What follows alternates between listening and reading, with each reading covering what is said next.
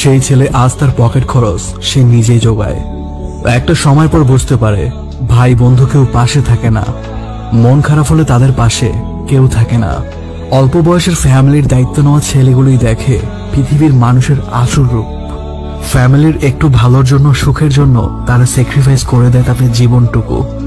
অল্প বয়সে ফ্যামিলির দায়িত্ব নেওয়া মানুষগুলোর শেষটা সুন্দর হোক।